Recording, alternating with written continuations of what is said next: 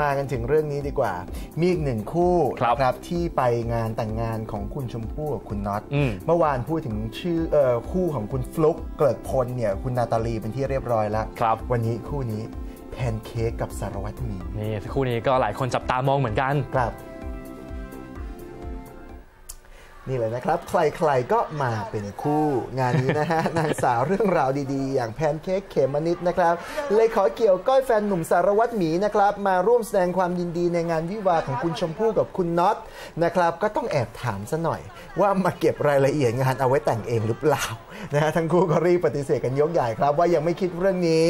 ต้องรออีกสักพักหนึ่งแต่มันมีข่าวเล็ดลอดออกมาซันครับผมเขาบอกว่าฝ่ายชายเนี่ยหาเลิกษ์ไว้เตรียมแต่งงานแล้วนะครับอ้าวยังไงครับ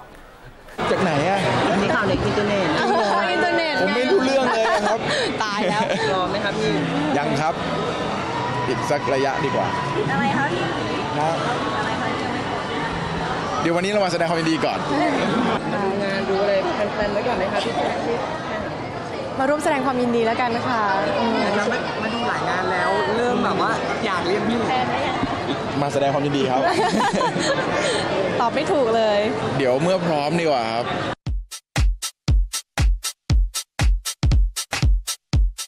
แพลนใช่ไหมคะก็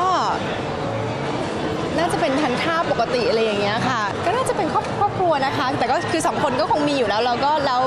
แล้วแต่ช่วงไหนที่เราว่างตรงกันเราก็ไปอะไรอย่างเงี้ยค่ะ ส่วนของขวัญเนี่ยก็เพิ่งทำโทรศัพท์ตกน้ำไปค่ะที่ตกน้ำไปบอกว่าหืมทันตามากเลยพี่หมีก็เลยเออดูแลอันใหม่ให้อะไรอย่างเงี้ยค่ะ เป็นบอกว่าล่วงหน้าแล้วนะไม่ต้องขออะไรแล้วปีชงเลยเหรอ ไม่คงไม่ถึงขนาดนั้นมั้งเป็นเป็นความลืมของเราเองอะไรอย่างเงี้ยค่ะ เข้าห้องน้ำแล้วใส่ไว้ในกระเป๋ากางเกงข้างหลังไงพอถอดปุ๊บมันก็ตุ้มแล้วก็อุ้ยไวเลสหรือเปล่าอะไรเงี้ยใจหายวาบเลย ไม่ใช่เป็นโทรศัพท์ก็รีบลวงขึ้นมาทันทีอะไรอย่างเงี้ยค่ะ แล้วก็ไปแช่ในข้าวสาร แต่ว่ามันก็ก็ก็ต้องใช้เวลานิดนึงค่ะเออกลัวติดต่อไม่ได้ไง ส่วนเซอร์ไพรส์ในงานวันเกิดของฝ่ายหญิงนะครับจะมีอีกหรือเปล่านั้นสารวัตรหมีบอกว่าขออุบเอาไว้ก่อนนะครับ บอกแค่ว่าต้องรอดูว่าจะมีหรือไม่มีครับ